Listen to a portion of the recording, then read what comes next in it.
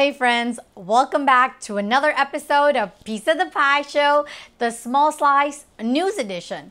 Now, if we haven't had the pleasure of meeting, I'm your host, Pai Patel, and I'm so honored to have you join me today from your very busy schedule. I thank you so much. So let's just get right into why you're here. It's a good thing that we live in such exciting times. I have some very interesting news from the crypto world, so sit back and let's find out what's been happening.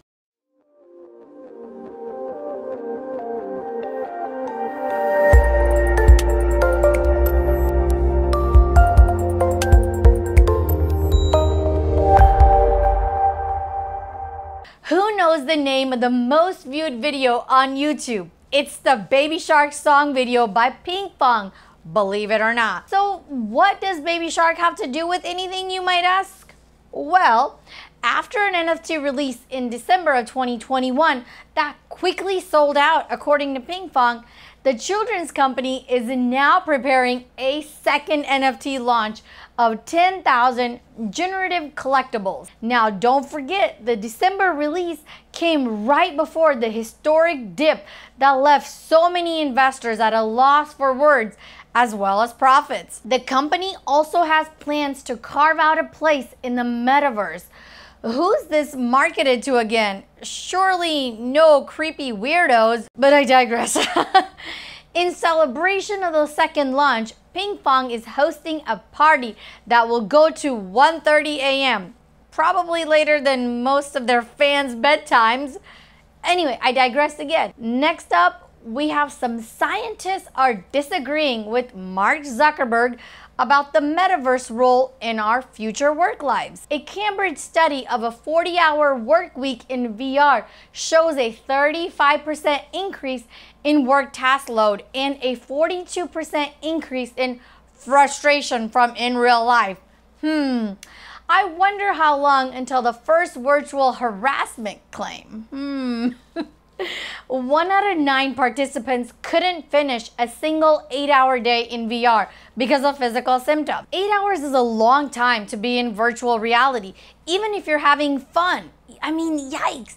But I think there certainly are productive work situations that can be enhanced by VR and AR.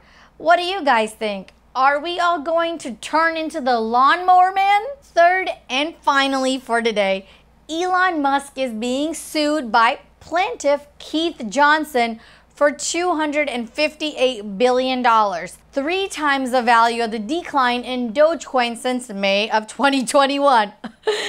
Johnson alleges that Dogecoin is a pyramid scheme and that Musk is guilty of racketeering. Where do these people even come from? Oh my goodness.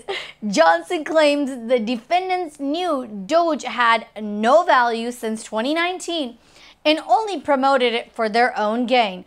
Last that I was aware, Dogecoin still has some value just like everything else. And who knows about Dogecoin and hasn't seen a single meme about it. I guess we'll have to see what the courts have to say. What do you guys think? Sound off in the comments, my friends. Thank you so much again for staying till the end. If you're enjoying my content, please go ahead and just walk your finger on over to that subscribe button and join Pai's Pal Club. I really appreciate it. Also, if you can spare a like and a comment, that would mean a lot to me. I love you all so very much. God bless you. I hope you have a wonderful rest of your day and week. I will be back again very soon with the next episode of Piece of the Py where I'll be helping you get your piece of the pie. Till next time.